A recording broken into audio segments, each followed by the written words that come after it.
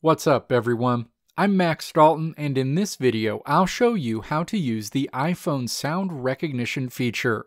With distractions all around us, it can be easy to overlook some of the more critical sounds in the real world that we need to hear. To make sure you stay alert, Apple is looking to have your back with the sound recognition feature for iPhone.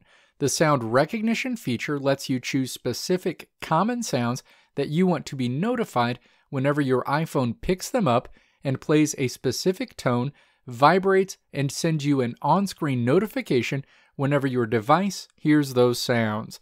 Common sounds you can choose to have your iPhone listen for include fire and smoke alarms, cats and dogs, car horns, a baby crying, glass breaking, and more. Now let's walk through the steps to use the iPhone sound recognition feature. Step 1 Launch the Settings app on your iPhone and then tap Accessibility in the menu on this screen. The accessibility screen is displayed. Step 2. Scroll down to the Hearing section and then tap Sound Recognition in this section. The sound recognition screen is shown.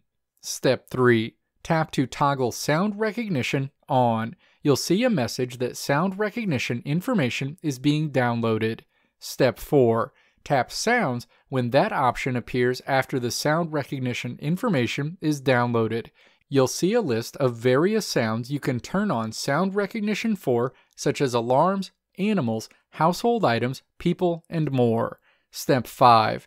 Tap the item you want to turn on sound recognition for. In this example, I'll choose fire. The screen for that sound is displayed.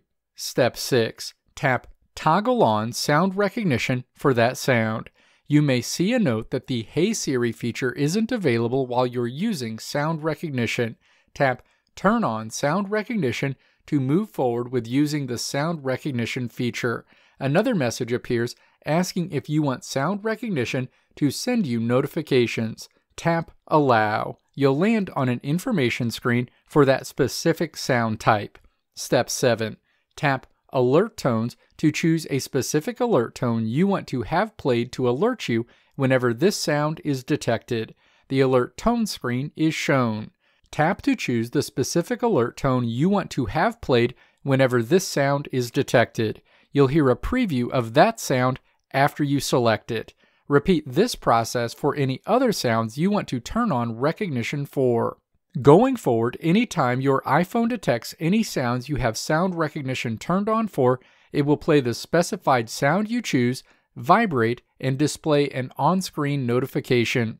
Let me know if this video helped you out in the comments below. If you liked what you saw here, click the video links on the right side of the screen to check out another video. Or Click the logo on the left side of the screen to check out my tutorial website at www.maxdalton.how.